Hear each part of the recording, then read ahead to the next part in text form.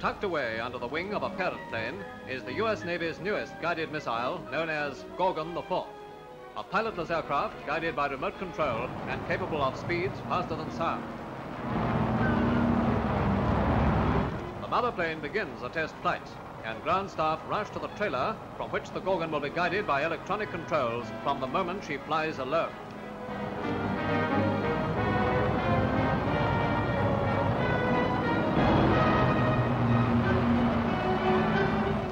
Is ready, and in answer to a radio message from the ground, the Gorgon's jet engine leaps into life.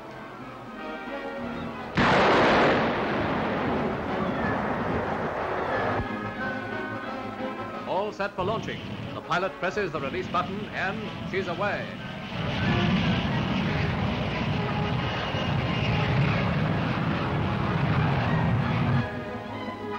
High over the Pacific, the Gorgon hurtles on, every maneuver controlled from far away.